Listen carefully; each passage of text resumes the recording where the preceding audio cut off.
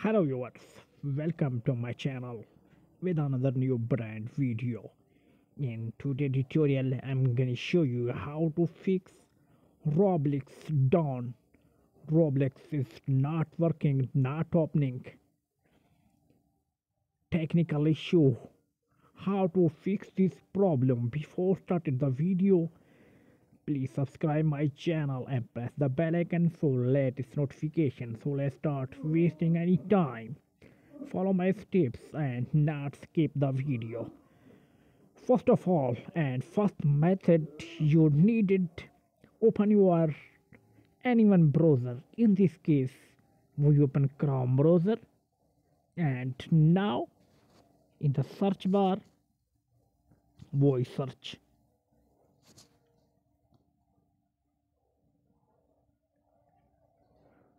Downdetector. And check the server connection problem. If Roblox server is down so simply we check it. And now from here we open Roblox. And now from here we scroll it down and you can see Roblox outage report in the last 24 hours.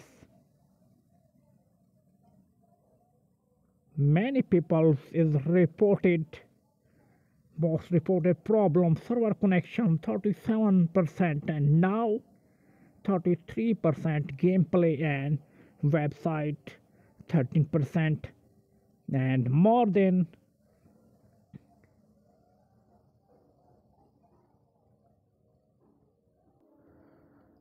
you need it scroll it down and many people's comments was with some not working crashing of Roblox. Many people facing the problem in last 24 hours.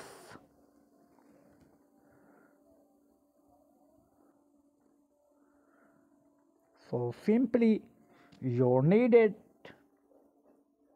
some hours and your issue is automatically fixed after 24 hours because server is down and you face many problem in playing the Roblox game.